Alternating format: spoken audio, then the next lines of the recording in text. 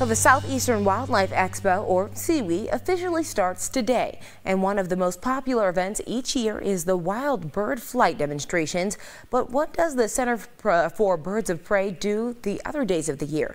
Well, Lisa Wiseman found out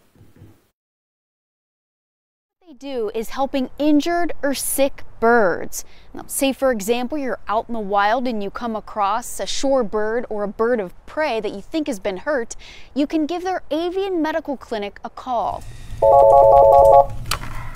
Avian Conservation Center, this is Cameron. It's a phone line that some days rings off the hook. Some of the more common injuries are if they're hit by vehicle. A lot of people might see a bird on the side of the road. We also get different entanglements. This is, you know, a big coastal waterway for the area. And so fishing line or just other kind of foreign objects that are in there will get calls on birds that might be entangled in something. If they need medical attention, they're brought here for treatment, sometimes up to 16 birds a day. News 4 was invited in for a couple of procedures. First up, patient 123. Technician Cameron Williams suits up in the big gloves for protection. Beak and talons. They both know how to use them. She brings in the patient. It's an adult bald eagle found on the side of the road in Moncks Corner a couple of days before. His head is covered just to keep him more calm. That's also why we're talking in quiet voices. Turns out he ate lead. Lead toxicity can just make them just feel really sick, um, really lethargic.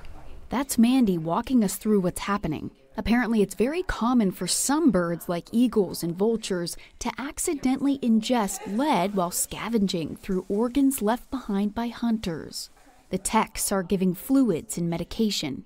It is an injection of calcium EDTA, and that is actually a substance that's going to bind to the lead in that bird's body to help it remove it from its body. Time now for a tube feeding of more fluids.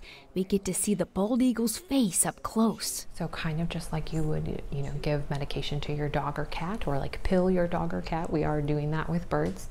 It'll be another few days of this kind of therapy before the eagle is retested. Hopefully the level of lead goes down. It's a metal toxin in their body, um, and so again, it's just he's a little quieter, um, it seems like, but that you know can take a lot out on them.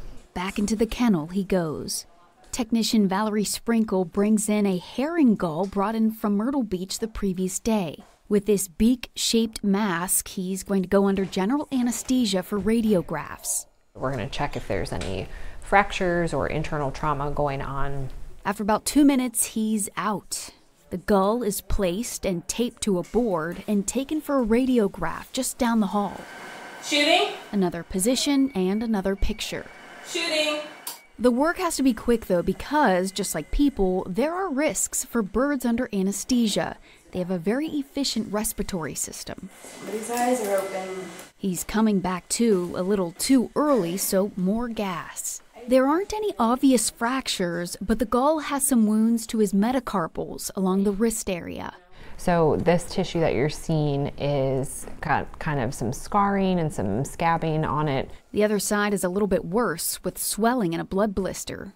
This wound and infection could be deep enough um, that it could impair flight, so we're going to want to take care of these wounds. Some medication goes down the gullet, and the bird has a good prognosis. That's great news for the gull and the techs. The best part is getting to release birds back into their environment getting getting them through whatever ailment they come in with. This is the ultimate goal for all of the clinic's patients. So for adults, we do try to get them back to the area where they were originally found. A lot of times they know that territory for resources and they also might have a mate. Unfortunately though, not all the birds are able to be released back into the wild.